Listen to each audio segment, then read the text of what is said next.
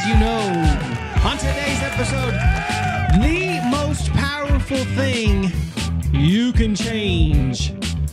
Let's hear that again. That'd be something really good to know. That's exactly what we're going to talk about today. What is the most powerful thing you can change in your life? Wow. We're just these guys, you know. Bump. Mm, Get the my most headphones on. Powerful thing you can change. Oh, now I feel like I'm in the house. There we go. It is really awkward to be over there without the headphones on and you're having this whole show in your own head. Yeah. I'm not part of it. You're just you're on the other side. I'm like, why is he smiling? You're over there. Film crew in it. Okay. The most powerful thing you can change. Now, for the audience, I'm not here. this show is pre recorded the week before it's airing. Mm-hmm. I am not here because I am Hmm. somewhere on a beach right now. Yeah, sucker. Hanging out in beautiful beaches. Well, last week, about 10 minutes ago, last week, you were celebrating Dawn's birthday Yep. and her her wonderful 33 year old attitude and demeanor and appearance, right? Yes. Yes. Hmm. Yes. Not a day over. Although, y- you know, you've been married long enough, maybe she does like to be called 72. I don't know. Hey! Nope. Maybe that helps the marriage. no. No. No. So, yes, um, this week is my birthday, and Tish arranged for us to take a short vacation, go to a beach, enjoy Very the weather. Very, very cool. Well, I hope as we listen to this, you are enjoying yourself. I probably am. I'm sure you are. That's awesome. So, the most powerful thing you can change. right. So, means it's the most important thing you can change. You you work with people. Yeah, I work with people. right. and you have that conversation all the time with people about their struggles in life. Mm-hmm. and you know they they want to they want to make changes. They, they want to change. They want to change their life. They want to change the direction of their life. They want to change. And so they'll change jobs. Right. they'll change friend groups they'll change from drinking a whole lot on the weekend to going to church on the weekend. They'll, they'll make changes. They're making changes trying to improve their life improve their attitude improve their mood. Sorry that was my hand. They may change the school that they attend. Mm-hmm. they may change the school their children attend. They may change their major they may change cities. Change things around them. Change their spouses Mm-hmm. change their boyfriend, change their girlfriend. Mm-hmm. People are constantly making changes, trying to improve, but they're all missing the most important change. Can we drag it out a little more? Make this podcast a little bit longer? The tension is building. Change your attitude. Sure. Change your attitude. Change you. Change your attitude. Change your life. Mm-hmm. Change how you feel. Change how you think. Change your perspective. If you change your attitude, everything else around you will begin to change. It well, it'll be amazing when you change your attitude, how people who were just wallowing in the misery of your old attitude, they'll just go away. Right. That that change will come very natural. And so and the, the I'm watching examples uh, recently of, of people who are really making some changes. They're making powerful changes. Uh, one gentleman that I think of uh, got baptized this last uh, Sunday. He went. He's gone through years of of uh, recovery, Uh huh. and he's he's been clean and sober now for almost a year. Wow. He got baptized, and but now I'm I'm watching him on Facebook giving rants to the people who were are trying to, in his words, drag him down. Oh, yeah, yeah, yeah. He's giving them power by doing that, by responding Oh, to by responding. Okay, I see yeah, saying. by even putting anything out there. Sure. He needs to just keep his eyes focused in the in the windshield and move forward Right. and let them just kind of fall into the past.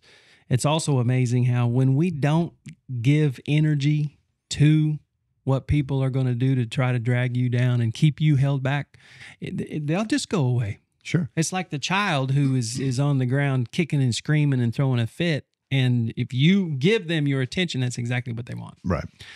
Ignore them. At least do your best. Hen- Henry Ford said, "Problems are those things you see when you take your eyes off the road. There you go. Obstacles. Obstacles are those things you see when you take your eyes off the road. Yeah, that's good. Stay focused, and there will be a moment of of you know breaking through the the atmosphere. Yeah. where the ship rumbles and you think it's going to fall apart, but that's those people their last ditch effort trying to keep you in their clutches, keep you Mhm. in their misery. Yeah. Misery loves company. And as you try to walk away, come on, stay, have one more beer, don't go yet. They Mhm. love company. They want you to stay because they're miserable. They want you to be miserable. They want to gossip. They want to Yeah. talk smack on other people. They want to pull you down. And if you walk away, they will clamor after you for a little bit. Yeah. But if you keep walking, So what's the really the first step in in once you've decided you want to make that change, you want to change your attitude. What's what's one key step that you can take? I don't know. Well, how about read 12.2? you could do that. Yeah, that's one thing. Really, fundamentals, because it really goes back to the fundamentals. the the most important thing, really, honestly, and this is what this is what research has shown is you, you deciding Mm-hmm. that you want to make a change. Yep. That's that's the key. Success follows after you make that decision. Well, it's kind of like last week. What you got to do, what you want to do, is show up for you. Right.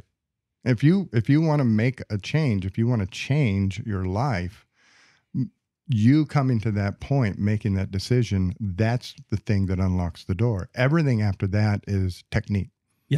And whatever technique it is doesn't really matter, but it's what aligns with you.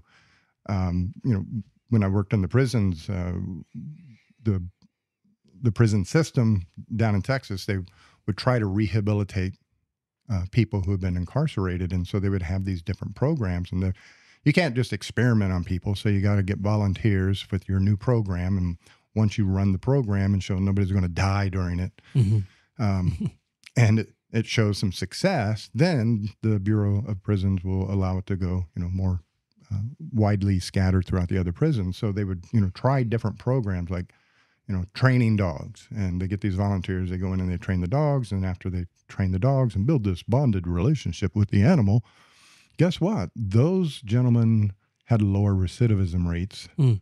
than those who were not in the program. So they put the program prison wide Yep. And the recidivism rate stayed the same. And then they tried art therapy, and those people who got to use art and express themselves and their emotions. Well, after we run the program for a little bit, compare their recidivism rates to the rates of the general population. Their recidivism rates are lower. So let's get art therapy all throughout the prison. And they did that, and the recidivism rates stayed the same. And education and college and training and work programs, everything they did during the experimental phase showed promise and showed lower recidivism rates. But the moment they instituted it prison wide, recidivism rates stayed the same. Why? Key answer the people in the experiment were volunteers. They wanted to change. You got a program that'll bring about change? I'll sign up. They, they're wanting Yeah. to change. Doesn't matter. Yeah, know, that's good. Change, nothing changes if nothing changes. Last time I came to therapy with you, I sat in that chair. I'm back here again. I'm sitting in this chair. Mm-hmm. It's brilliant advice I got from a client. Nothing changes if nothing changes. Hmm. You know, paint a paint a wall in your house. If you want to change, you will change. Now, one of the tools available to you is an awesome book called 12 2 How to Transform Your Mind. Yep. If you're listening to this podcast, you probably already know about it. But that is one tool available to you. Therapy, great tool to help people change. And if you don't feel you're making changes with your current therapist, change to a new therapist. It's we all have different approaches, different tools, different techniques. If you're in a church, you don't feel like you're being fed, Mm-hmm. change to a new church. If you want to make a change in the direction of your life, that's the key right there. How many psychologists does it take to change a light bulb? Just one, but the light bulb's gotta wanna change. Exactly. If you want to change, change will occur. Yep. And so, you know, if you think about it, we're talking about not changing your location, not changing your job, your career, your major, your spouse, changing your attitude. Sure. And once you change your attitude, everything else begins to change. Your motivation begins to change, how you see things, the utility of certain things, the sense of certain things begin to change. The, the, the nonsense of things begins to change Mhm. why am I spending all my money on this when I could be spending it on that? And so, if you think back into the Bible, how many times was this reflected? Oh, all over the place. As a man thinketh, Mm-hmm. So is he. Yep. So, if you want to change who you are, change how you think. Yep. Change your attitude. Yep. We talked a few episodes back on an attitude of gratitude. And so that's a great place to start. Is just immediately you can can change your attitude by looking at what at where you're at Right. and find the things that you're grateful for. Find the things that you and I know you're looking around as your environment, but you're you you can look at the things that you're thankful for instead of wallowing into the things that you're not thankful for. And that that are kind of just keeping you in that bad attitude. Well, if you're going to cook a meal tonight, you open the cabinets and see what your ingredients are. Mm-hmm. There you go. So, this is what I got to cook with. Yep. and and I am thankful. Can I tell a short story? Yep. Uh, years ago, when I was back when I was in the Navy, I was I lived on this separate island, so I didn't have access to a grocery store right away like everybody else. Mm-hmm. And I opened the cabinet, going to make a pizza because I had the pizza box of dough and a hot dog. And that was going to be my dinner. There you go. And so I got the pizza box. You know, all you got to do is mix water, flour, roll it out. I was going to smear the sauce that came with it on it and cut up a hot dog on it. That was going to be my meal.